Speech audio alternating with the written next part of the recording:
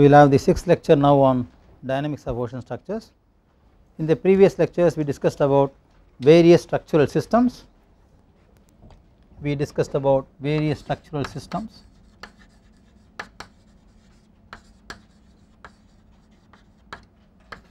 Their structural action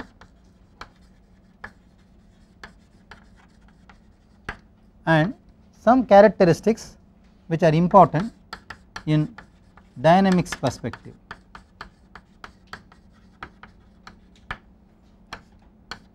What we will see in this lecture today and the next lecture will be different kinds of environmental loads.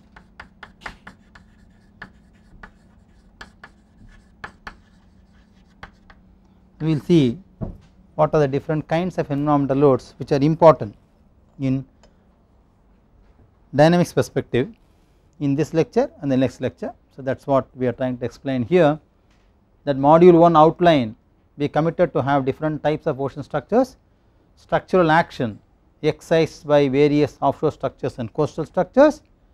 We discussed them in 5 lectures. Now we will talk about various environmental loads acting on offshore structures in another 2 lectures today and the next lecture. Then we will move on further to introduction to dynamics, free and forced vibration, undamped and damped systems, equation of motion, multi-degree equations of motion, natural frequencies and mode shapes and influence coefficient method, Stodola, Rayleigh-Ritz method and matrix inversion method and matrix methods for dynamic analysis. And we will talk about modal analysis and continuous systems. That is what we are going to commit in the first module which will have about total 15 lectures. So, we are now running the 6th lecture. Any questions on the previous uh, topics what we discussed?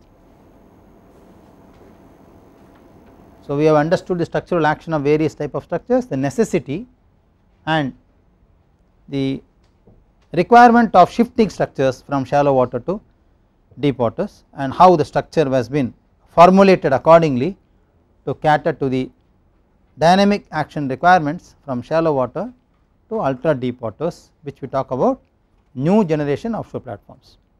When we talk about different kinds of environmental loads which are encountering an offshore structure, the foremost load which will come to mind for any engineer who speaks about design of offshore structure is of course the wave loads and wave loads will have influences from current, tides, tidal variation etc. We will also speak about wind forces. There are furthermore loads, accident loads, buoyancy forces, ice loads, shock and impact load which we will talk about in the next lecture. In the present lecture we will quickly focus on wind loads, then we will speak about wave loads. Remember both these loads have a very important characteristic they vary or their magnitude vary with respect to time. So, it is a function of time. There are two important characteristics of the wave and wind load which will act on offshore structures. The first characteristic is it is a function of time. The second characteristic is it varies with space also, there is a spatial variation also. We must look into both these aspects quickly because this course will not focus in detail estimates of these forces on any member, but we will quickly touch upon for the benefit of all the readers that how to quickly estimate these forces. But one should have a prerequisite of understanding how to estimate wind loads and wave loads on given offshore members because our focus is on analysis when these loads are known to me. Okay. But anyway nevertheless we will introduce very quickly in this lecture how to estimate wind forces and wave forces. When we talk about wind force interestingly let us look at the schematic diagram of an offshore platform and a glossary of different kinds of loads acting on an offshore platform. So, this is a typical can you tell me what kind of structure is this? what kind of line diagram structure is this? So, jacket structure or a template structure okay. So, subseeds uh, in the this portion anyway is embedded these are the piles these are the bracings these are the members this is the top side the deck there is a drilling rig etc. So different kinds of forces which will act on this kind of platform are listed here in this figure there can be vibration induced because of the mechanical components on the top side like drilling like movement of the cranes helipad takeoff and landing helicopters takeoff and landing etc. The superstructure can be also subjected to wind action as you see from here. It can be also subjected to erection loading. Of course, the weight of the platform will act what we call gravitational load or self weight or dead weight. There can be movement of ice which can also cause loading on the platform. There can be a movement of barge in case of any offloading vessel which can come and hit the platform. It can cause an impact on the platform. Of course, there will be loads predominantly acting from wave and current. And we all know when a member is partially or fully submerged there will be buoyancy forces acting because of the displaced volume of these members in water. So, we call this as the buoyancy force which is acting here and of course, there is a component which is attached to this jacket structure. What is the name of this component? What is that? Buoyancy tanks? No, no, no it is not a it is not a floating structure it is a template structure sorry this is a launch truss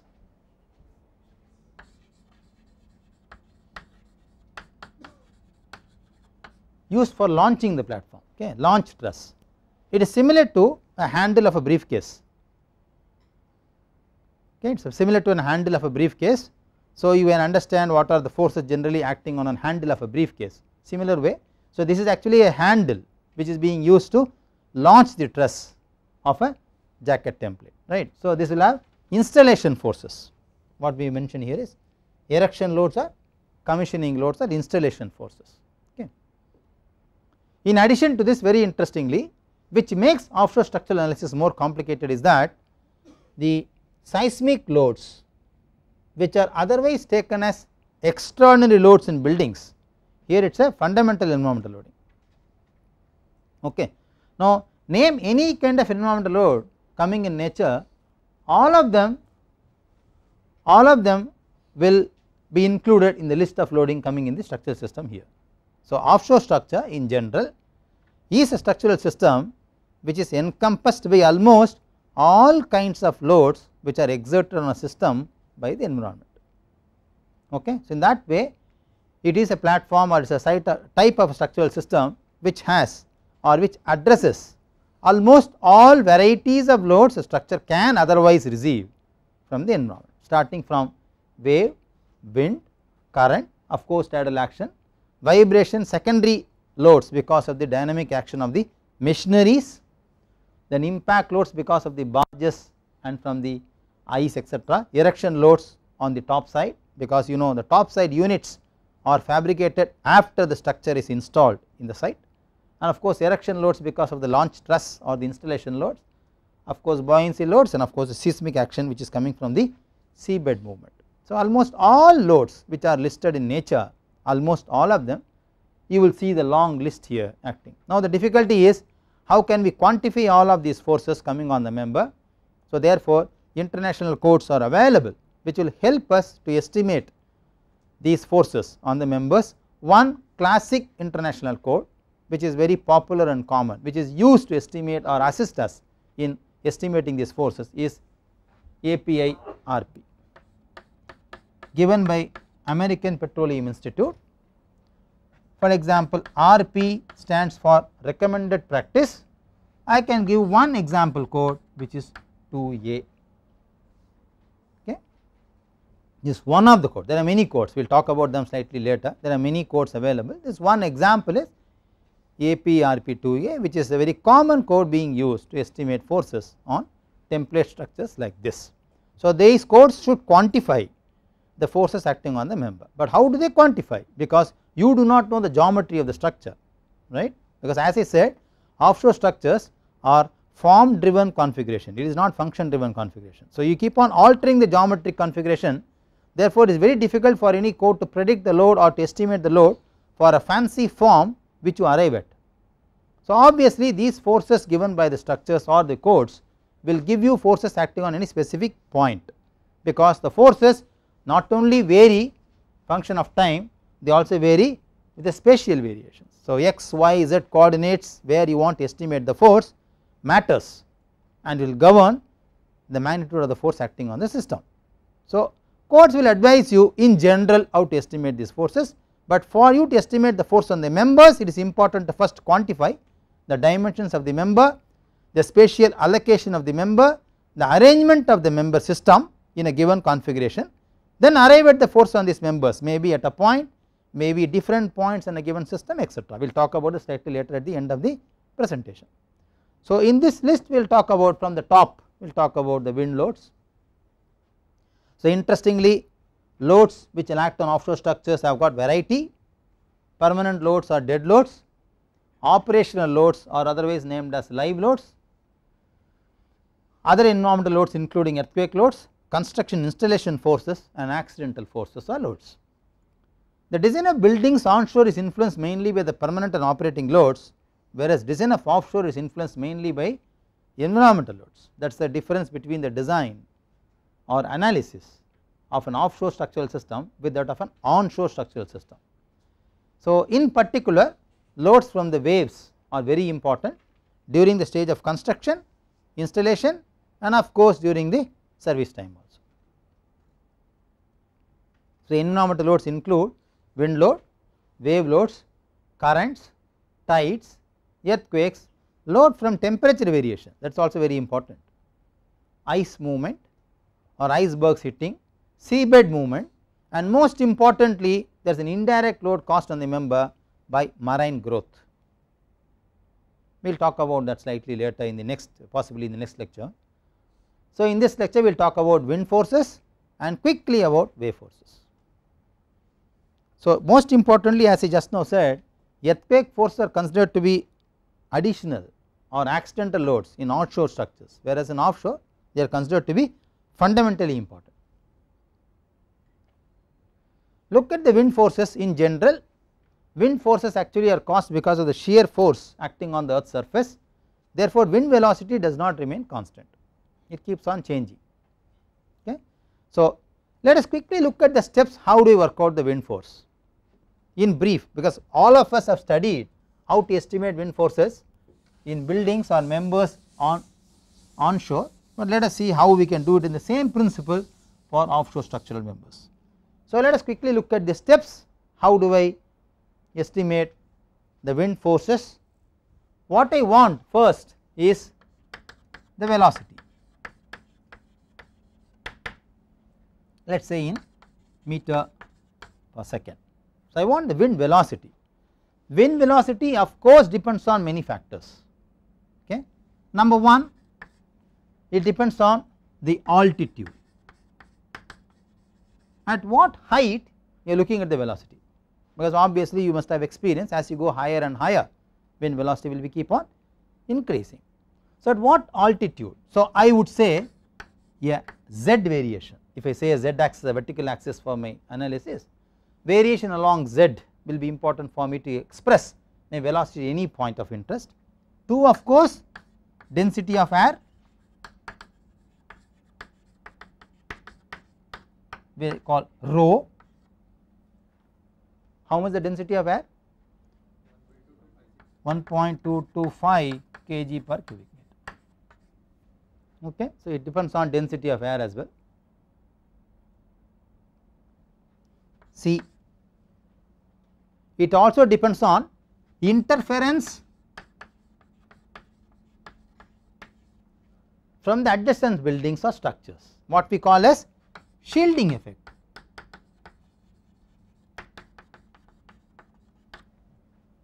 What do you understand by shielding effect? You please do not look at the presentation it is not there right. What is the shielding effect? I can give you a very interesting example. Let us say I have structure located on shore. Let us say this is my structure.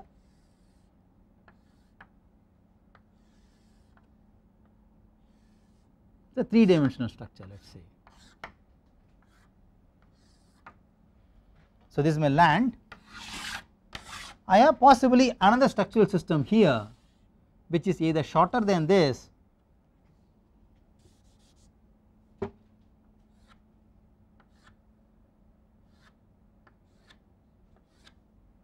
and there is another structural system here which is taller than this. And in plan this is my system which I am interested in. I have got two structures located here and here. And the wind is flowing this way. Okay. I am interested to work out the wind velocity at this point in plan and at this point in elevation. Imagine the influence of the presence of the buildings A and B on C this is what we call a shielding effect.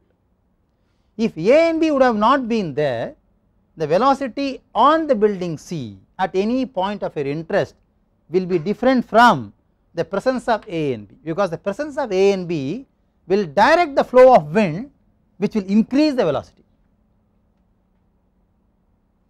Okay this is what we call as Venturi effect. Okay when you make the wind to flow on an open terrain the velocity will be say v1 when you want the velocity of the wind to flow through a specific defined path which is narrow then the velocity will shoot up. So the influence or interference of buildings adjacent to this will influence the velocity on this. So that is a factor which will affect my velocity calculation. Of course the terrain is it a coastal area is it a vegetation area it is an open forest open sea terrain. So all these factors are associated with certain constants maybe k1 k2 k3 k4 kn and all these constants are estimated empirically from a wind tunnel test and these constants are given in the codes clear. So these constants sometimes it may be more than 1 sometimes may be less than 1 these constants are evaluated estimated based on experimental studies conducted on similar bluff bodies on a wind tunnel and they can be calibrated. So these values associated with different factors are available in all standard international codes including IS 875 Indian code. Okay. So, we do not have to bother how do I get these factors that is not our concept here at all. So, these factors will influence the velocity v. Once I know the velocity in meter per second I must know on what area it is acting. If I know the projected area where it is acting multiply by this with the density I should be able to get my pressure and then the force acting on the member that is what you are going to see here. So this wind velocity is given as uz the z stands for the variable z in the vertical axis which is given by a power law. The power m depends upon where you are looking at the velocity? Is it an open terrain or a coastal terrain where the wind velocity is around 96 kmph 200 kmph etc. Now why this number 10 has come? It has been seen experimentally that up to height of 10 meter from any reference level the wind velocity does not change much. So that is called datum value of wind velocity. Okay? 10 meter so on the other hand if you are designing a uh, structural system which is around 3 story building let us say each story may be approximately 3 meters looking for a 9 meter high building from the land wind will not influence much on the building in sense that the variation on the velocity will not be severe it will be more or less constant. But you can imagine the superstructure or the hull configuration of any offshore platform you can see the derricks you can see the drilling Uh, derricks etc. They are as high as about 110 meters, 75 meters etc. They are very tall. Okay. So naturally, wind velocity variation will be a dominant factor to estimate forces on these members. You may wonder sir why I am interested to work out the forces on these members because they are not a part of the offshore structure at all. I should look at the structural system. These mass are placed on the structural system and the interference of the behavior of these will influence the behavior of the platform itself that is what we said in the previous slide vibration of these ancillary systems placed on the platform. So, I must know how to estimate these forces on that okay. So, I have equation of a power law the value of m is also taken from the code. So, it is all available to me I can compute V or as per the slide use Z at any Z value I am interested in okay. One of the spatial variation is considered in the calculation here okay. Now wind load has two components one is a static component which we call as a mean wind speed other is called as a dynamic component we call a gust wind speed okay gust component and the mean component. The wind loads along the wind direction is what we call as a drag drag force they try to drag the structure okay. The drag force can be either static or dynamic whereas wind loads caused in the direction normal to the direction of wind what we call across direction is a lift force. So, this is essentially caused due to vortex shedding effect in the across wind direction vortex loads or across wind loads are purely dynamic in nature okay. Once I know the wind velocity based on the wind velocity I will work out the dynamic pressure which is q naught in this equation. Q naught is actually half rho v square where rho is the density of air which is 1.225 kg per cubic meter. V is what I am getting from this earlier expression of power law. So, I use this half rho v square that is this equation to compute Q naught. Once I know Q naught I will substitute it here to get the drag force and the lift force. Okay. So, I need the coefficients CD and CL as I just now said velocity it depends on various factors etc. all these are empirically studied and CD and CL values which are drag and lift coefficient values are estimated and available in the standard international codes for our ready reference okay. So, CD CL are available to me for example it varies from 0.7 to 2.1 for a cylindrical structure it is 1.0 okay depends on the shape of the structure the drag coefficient. So, once I know CD and CL from the codes once I know Q naught which is the dynamic pressure which varies which is equal to half rho v square and v is a variation along z. If I know the projected area what I call as an exposed area I can compute the force at any specific point okay. Now force has now become a function of force has now become a function of x comma y that is a geometric coordinates with respect to any origin and of course z and of course t also okay right. So, in a given structural system at any specific point I know F1. Now, how do we compute the projected area? For example,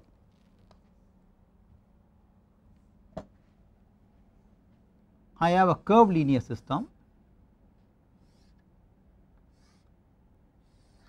So, 3 dimensional system let us say.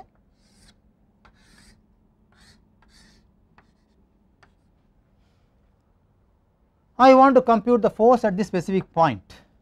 And this is my datum. This is my ground level. My datum is here. This is my datum where I call z as 0 I can set datum anywhere I want. I can set this as 0 I can set this as 0 as well. I take this as 0 I want to know. So first what I want to know at this point is what is my x y and z value of this point?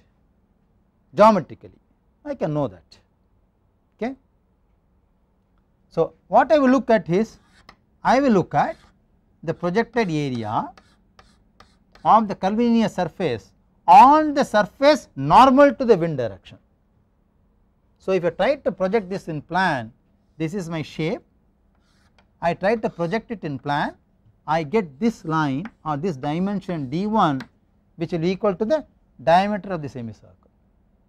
I multiply d1 with my h1 I get this projected area of the point where my f1 will act. Now there are methods to do this. I can say the whole area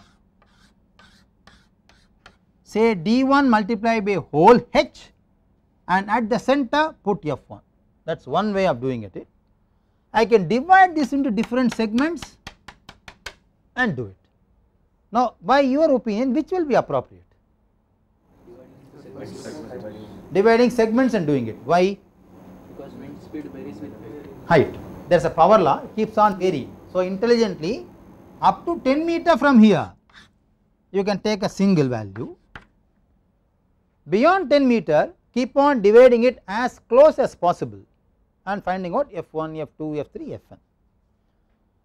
Now I have another question suppose in a given structural system this is my z is 10 I have f1 here I have f2 f3 fn here which will vary fn will be more than this and so on which will vary can I sum all of them and say f star and use this value for my analysis let me put my question once again. I am able to estimate the wind force at every point. Is there anybody who has confusion in estimating the force at these points? Because at any point in the z variation I have the velocity, I know how to compute the projected area, therefore I know the pressure, I know the CDA and CL values I can estimate the force at a specific point. Okay. So, I have estimated F1, F2, F3, Fn. Now my question is can I sum all of them and find f star and use this alone instead of fn's for my analysis yes or no no no. no no that is, that is very dangerous no? Because no. we cannot have both the answers immediately after the pass. That is in fact it is more dangerous if we give a pass. Okay. Practically it is no. I will tell you why. We are not interested in the magnitude of f star, we are interested in the point of application of f1 because these forces not only cause motion in x axis, but also rotation about y axis. So, I am interested in what got the moment of these forces. Okay. Now, you may wonder sir f1 xn f2 x2 f3 x3 will all be equal to fn x bar how does it matter can you answer this question again see each one of them let us say this is xn with respect to any point let us say this is my Of the forces acting what we call as a, what is this point called? Where? I am trying to find out the point of application of all the lateral forces. Sorry? Center of pressure is a wrong statement. Which force?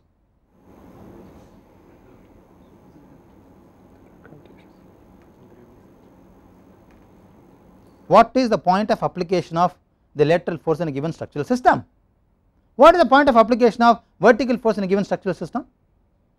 Center of gravity. Shear center. Okay it is the point where my lateral force are subject to be concentrated right? So, if I know the ordinates of these forces from the shear center vertically x and y will also be there. I am not showing that. I am showing only the z variation. Obviously, the moment caused by these forces will be equal to the net moment caused by f star at this point. Clear. Then why I still bother about f1, f2 and fn.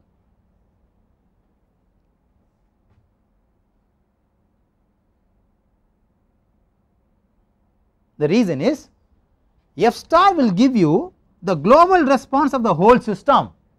I am interested in the local response caused by this force on a member of a system. So, dynamic analysis is not the global response, it is the local response of a system. Each and every member has got to be analyzed. Then you may have infinite number of members, do you have to do infinite times of analysis? You identify critical members and analyze them. So, to identify a critical member, I would like to know what is the force effective on that member only. I am not interested in knowing what is the total force acting on the whole platform whereas f star or f star multiplied by x star will give you the force and the moment on the whole platform which I am not interested. Okay, I am interested in every member of it. Though I will be interested globally but obviously we all know if you know all of them I can always find this equivalent here right by summing them up right? That is why in dynamic analysis finite element modeling plays a very important role. Okay we are doing component level analysis not a global level analysis. It is true with buildings also but we are focusing on offshore structure. So is there any doubt for anybody to estimate the forces on any point which varies with x and y in plan and z in elevation? Of course given v at a point based on your CDCL values given by the code you should be able to estimate them. So it is a very simple excel spreadsheet is it? Not you can divide them into parts find out the projected area A1 A2 AN find out the velocities V1 V2 En keep on finding the forces and keep on finding moments separately. Use an excel spreadsheet which can easily tell you how to estimate the total wind velocity or wind force on every member and on the whole platform in every degree of freedom. Not only along x along x along y along z about x about y about z. I can compute. It is a simple mathematical calculation is it? Not I can do that okay. So this is what I will compute the wind forces on a given offshore structural system. Now do you think wind forces will be predominantly acting on substructure of the member in offshore which is underwater. So underwater the members which are underwater or submerged members will not attract wind forces but they will attract wave action okay. Now can I combine both of them? Can I combine both of them? Yes or no? Why? Because both of them are acting. No, because I do not know. So that is not the answer. No, we have to justify engineeringly why I can combine, why I cannot combine. They are. Do you think there is any connectivity between the wind force and the wave force on a member?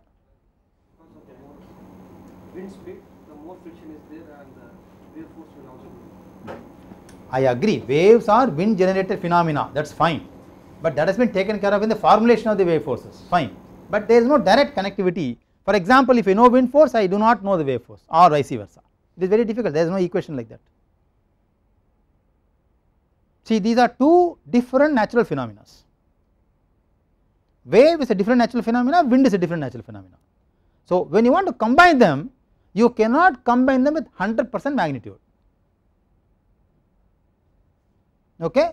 So code reserves the right of combination of loads. Which load will combine with what?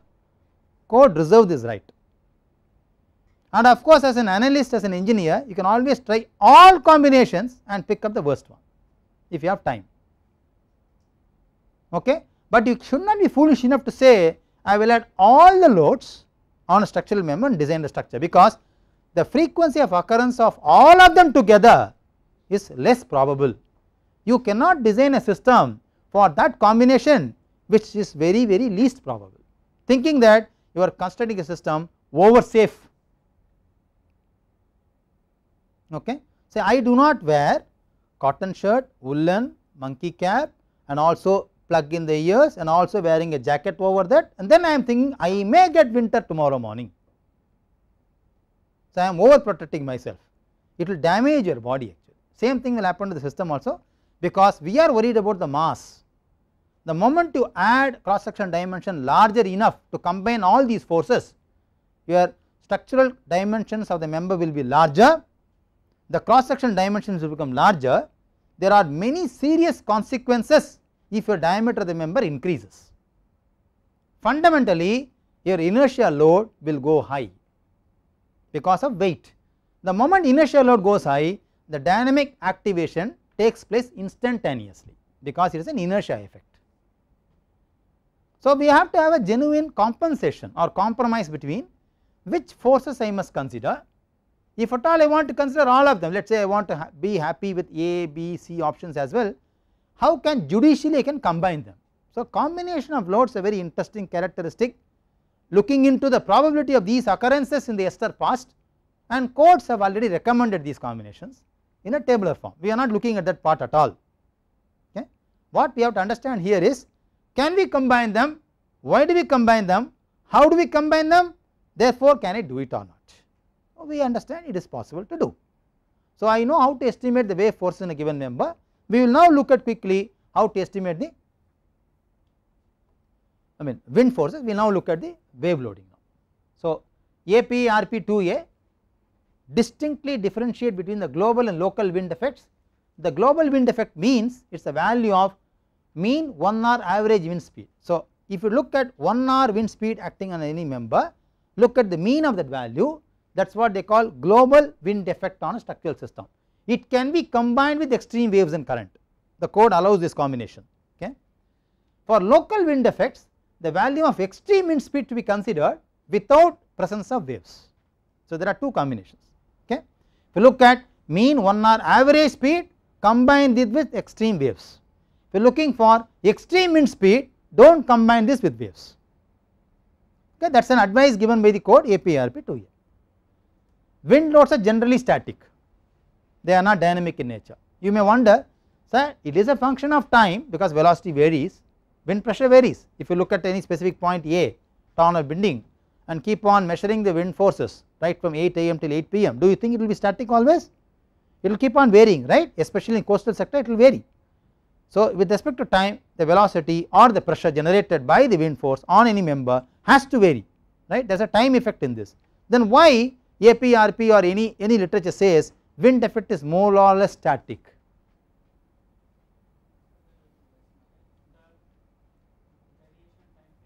in the structure stiffness because the structure is stiff. So, what his answer is codes relate this to the dynamic response behavior of the structure therefore, it is considered as static.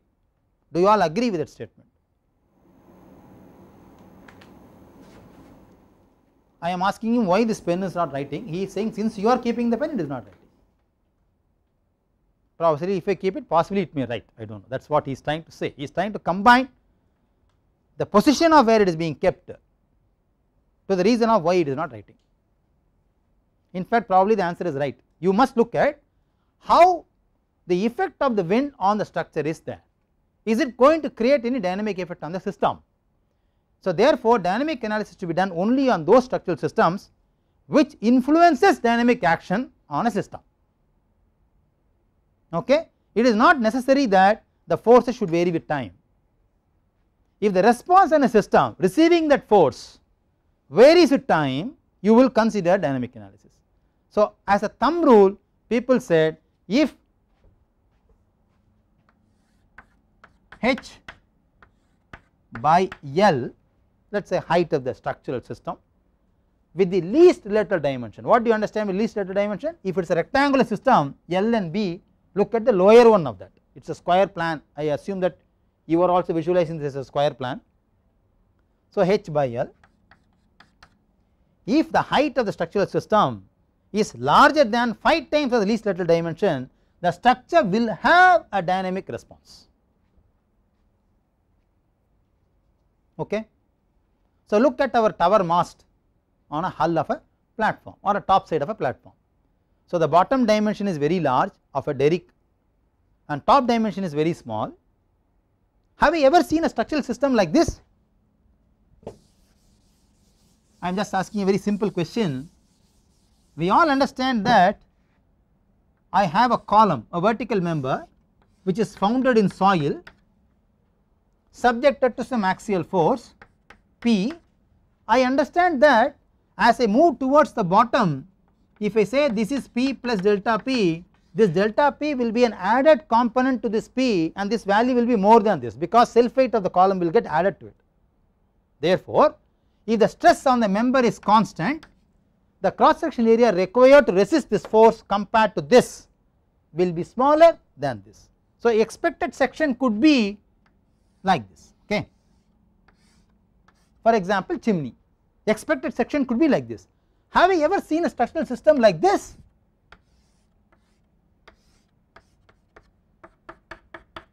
Yes or no? In your opinion can this sustain?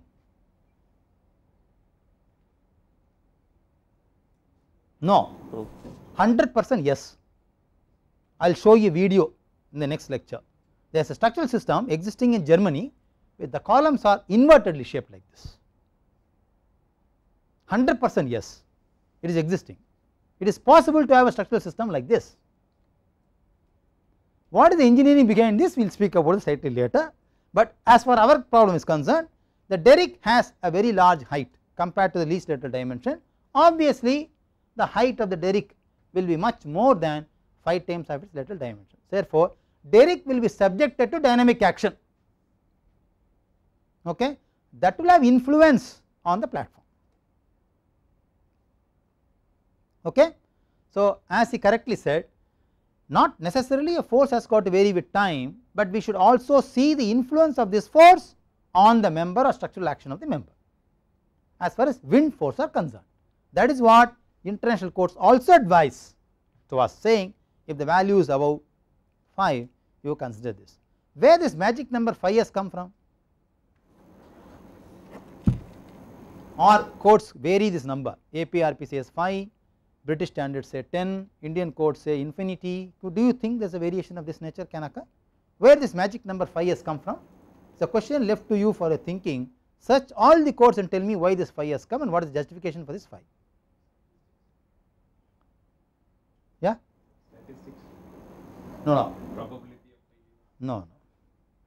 So all the time you cannot say for example there is there is a pretty big hall. People said do you know why I am wearing a blue shirt? Possibly you are, you are religious. So it is a Wednesday or Thursday you should wear a blue shirt. Okay people clapped hand the right answer is right. Then the person asked the next question do you think why I am writing with my left hand? The second person said sir I think you believe whatever you wrote in left hand was successful but religious belief so you keep writing claps hand. The third third question people the question asked to this gentleman was uh, the question asked is the person asked uh, do you know uh, when will I stop my lecture? The people said 11 o'clock. He said no no by God's grace only. Because I am religious enough whenever God tells me to stop I will stop. So all the time the same answer cannot be repeated right? It will not work out so reliability statistics probability of failure studies wind tunnel effects are not answers for the number 5 essentially it depends on a specific characteristic behavior of a structural system. Look at that behavior and tell me why this phi is there. So that is what we talk about the wind forces. We come to the wave forces quickly. Possibly in the next lecture we will cover further. So I have a submerged member here I would like to know the wave forces. So what were the steps we followed to estimate the wind forces? Let us quickly look at that. Same way I can work out wave forces also. That is the beauty. What were the steps I follow to estimate the wind forces? Can you give me the steps? First was I wanted to calculate the velocity. Then I computed the pressure then I computed the coefficients then I computed the forces then I computed the combined effect of these forces on the system okay. Same way I will talk about the steps involved in calculating the wind for wave forces on members. So for a given wave force I must first specify my sea surface elevation which I call as eta a standard notation so what do you understand by a sea surface profile? Many literature says sea surface profile can be a sinusoidal variation. Some literature says look at a flat crest like this there is a tremendous variation given by people. So the first confusion starts what would be elevation sea surface elevation. The second thing could be I will take off this obviously the water particle kinematics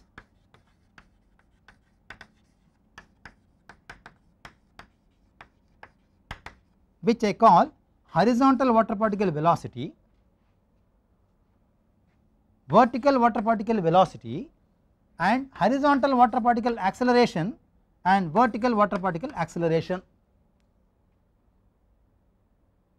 Like we look at the velocity here, I am looking at the velocity here. After finding the velocity, I found out the forces. After finding the velocity, I will go to the forces. So, same steps I am following for wave action also.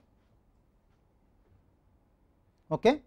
Now, there are discrepancies in defining the water particle velocity and of course, sea surface elevation by various theories that is an hydrodynamic effect on members. We will not talk about those theories in detail here in this course, but we will just very briefly show you how these theories vary and what are these values to be computed. All of them ultimately should give me the force on the member. So, all these theories should tell me what is my sea surface elevation and with respect to that variation what are my water particle kinematic values like velocity and acceleration in horizontal and vertical directions. It must give me this right every theory whatever theory you take cnoidal theory, Airy's linear wave theory, shallow wave theory, Stokes third order, fifth order any wave theory you pick up it should give me these values. So, I am interested in picking up these values I am not interested in defining the hydrodynamics behind how these theories are specified. Remember that. I am deviating from here thinking that blindly I believe Airy was right in 1856, Stokes were right in 1885 I believe them trust them pick up those constants and apply in my formula and get me forces. My job is to get me forces. My action starts only if I get f of t. I am not bothered how to get f of t though there are various theories available various experiments conducted I ignore all of them focus only here in dynamic analysis. So, dynamic analysis needs a preclusion of understanding all these concepts before you start doing a dynamic analysis. So, it is because of this reason we are explaining this very briefly as a part of the dynamics course also is that clear. So, I will not be able to take up this wave force description now because I will run then I will take up in the next class, but if you have any questions I will be happy to answer. So, what we have learnt in this class not much very few, but we have learnt how to estimate wave wind forces on a given member, why wind force can remain static or when it can become dynamic, what are the steps involved in computing a wind force on a given member, what are the significance of velocity variation or factors influencing this as per the literature. One example literature which gives me these coefficients are available to us API, RP etc. We saw this and now we took up an example and see how the Venturi effect, how the shielding effect bothers the wind velocity on a specific platform model. We also said what is the dynamic action of a derrick structure on a top side of a platform, how to compute them, why combining them will not be helpful, why finite element division is essential to compute dynamic analysis, do we have to do a dynamic analysis even though forces vary with time as far as wind is concerned. We answered all these questions in this lecture. So, next lecture will take about the wave forces. Again repeatedly we are not discussing about how to arrive at these theories. That is not the scope in this discussion at all. We believe that these theories have been arrived. We have these equations. We do not have to mug up them. They are all available in the literature. Simply copy paste them. My problem is to estimate forces on any given member at any x, y, z variation at any given point of time. If I know this I will do dynamic analysis further. Okay. So, in the next lecture we will speak about when speak about wave forces and other kinds of forces very quickly because we will not be able to drag it beyond one more lecture. After that we will enter into the dynamic introduction to dynamics and speak about the dynamic analysis.